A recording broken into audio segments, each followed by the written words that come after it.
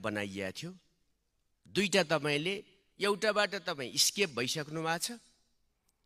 अर्कोमा तपाईँले नाम मात्रै राख्नु भएको छ र एउटालाई प्राथमिकता दिनुभएको छ।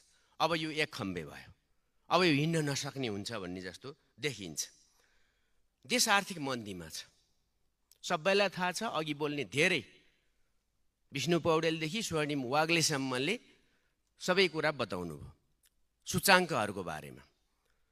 तर यसमा के देखिन्छ भने एउटा चलाखीपूर्ण शब्द छ र सरकार पछाडि हट्या छ।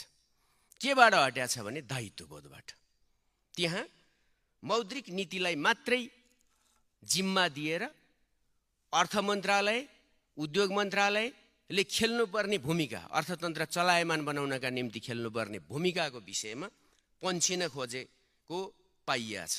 के त्यसका भूमिका हुँदैनन्?